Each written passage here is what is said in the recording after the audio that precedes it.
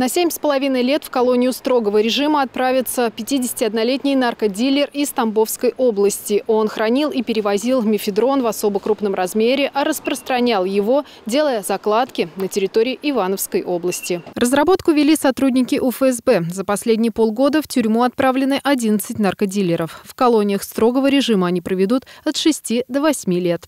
Также пресечена незаконная деятельность двух лабораторий, 14 каналов поставки и сбыта наркотиков, прекращена работа семи интернет-магазинов, торгующих зельем.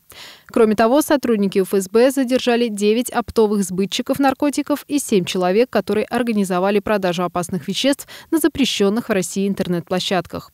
В отношении 8 лиц возбуждено 13 уголовных дел.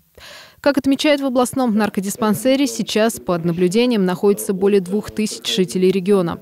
Половина с синдромом зависимости, вторая половина с пагубным употреблением. Чаще всего это мужчины молодого возраста, у многих серьезные проблемы в медицинском и социальном планах.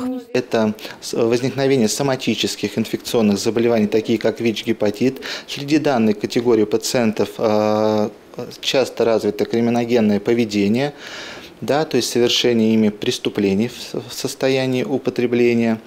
А, кроме того, такая категория пациентов низкий процент занятости и, естественно, нарушение а, э, домашних, скажем, соци... семейных связей среди категорий данных пациентов. В общей сложности за первое полугодие сотрудники УФСБ изъяли более 34 килограммов сильно действующих синтетических наркотиков. Дарья Костина, Денис Железов, телекомпания «Барс».